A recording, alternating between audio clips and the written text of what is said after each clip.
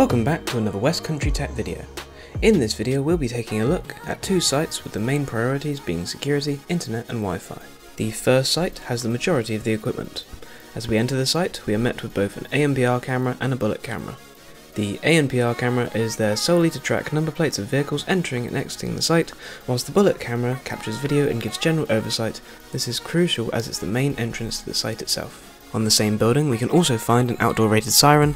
This siren is linked to an on-site workshop where both motion detectors and a keypad are fitted for arming and disarming the system. This can also be done using the smartphone app. In here we also find a gubbins box mounted which contains the main hardware, protecting it in all environments and next to it we see the network hub which speaks to all the parts of the system wirelessly linking them together.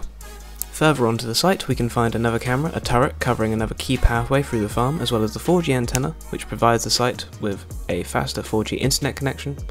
The signal is then distributed around the site using our wireless links which also send the camera signals back to the recorder. Then at the other end of the site we have three cameras all with specific jobs, a bullet camera covering a key pathway through the site, a TOC camera used as a deterrent with the ability to sound an alarm and flashing light, as well as a tracking PTZ which is used to cover a main yard of the site moving on a schedule, also having the ability to detect movement and then track the subject as it moves around the area.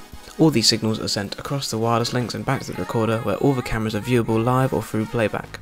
This can also be viewed on the smartphone app.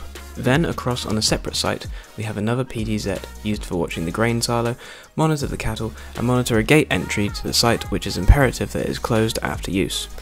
This signal is then still sent wirelessly using a Ubiquiti wireless link across that mile distance and back to the recorder so it is viewable just like the other cameras on the main site through the monitor provided. It can also still be monitored on the smartphone app.